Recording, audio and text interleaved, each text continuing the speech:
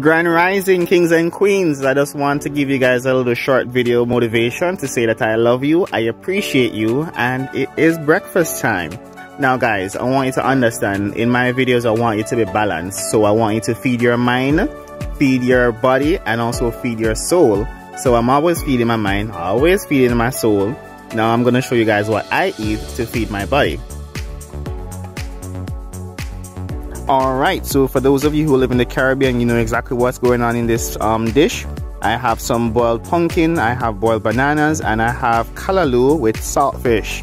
Now guys, this is nutrient dense and it is packed with a lot of vitamins and proteins. Guys, if you can preserve the integrity of your food and keep it as natural as possible, don't put anything too artificial in your food, guys. Eat healthy, active mind, active body, active soul. Have an awesome day. I love you light up the darkness.